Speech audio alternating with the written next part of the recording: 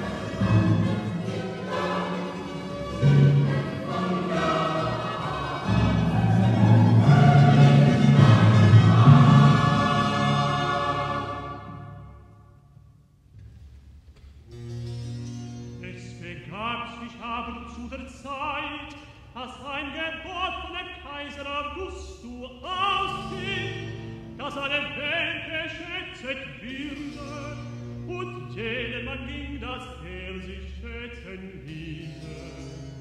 Ein Kenniger in seine Stadt, da machte sich auch auf Josef aus Kalimdina, aus der Stadt das jüdische Land zur Stadt Davids, die da heute Bethlehem hat, dass er kommt aus dem Buch, ich